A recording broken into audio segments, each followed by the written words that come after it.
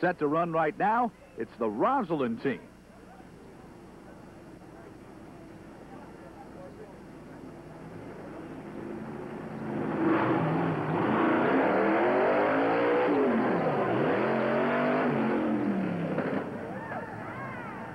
And Roslyn also comes in with an excellent run right behind the Hempstead Flukes.